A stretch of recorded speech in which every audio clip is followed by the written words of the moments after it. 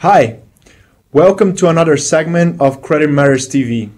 I am Edgard Dias, Director for Financial Institutions in Brazil, and today I'm joined by Guilherme Machado to talk about the recent article published Brazilian Banks Rising Deferred Tax Assets Jeopardizes Quality of Capital. So, Guilherme, why are DTAs increasing for Brazilian banks? Brazilian banks have historically posted high DTA balances from temporary differences due to an accounting discrepancy between the tax book and the income accounting book in the treatment of loan loss reserves expenses, which are not tax deductible.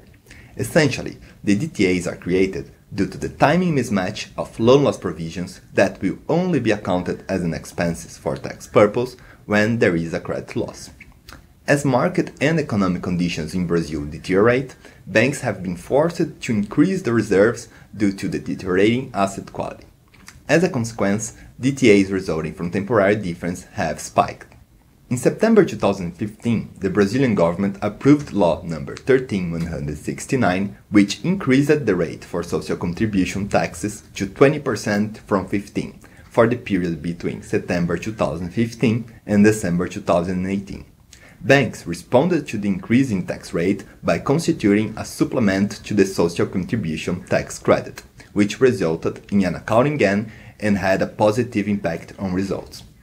As a conservative measure, most banks converted this balance into additional general reserves for loan losses, thus creating more DTAs.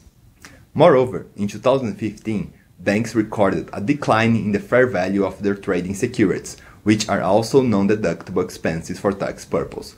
Those expenses generated DTAs on temporary difference, inflating the balances even further. Essentially, higher allowances for loan losses, adjustments to the fair value of trading securities, and the increase in the rate of social contribution tax have significantly increased Brazilian banks' deferred tax assets in 2015. And how does Brazil stand in comparison with other Latin American countries? As a consequence of the higher DTAs, the share of net DTAs in the large bank's total equity has increased to nearly 52% in December 15 from a already high figure of 35% one year before. If we consider the entire Brazilian financial system, net DTAs represents 41% of total equity.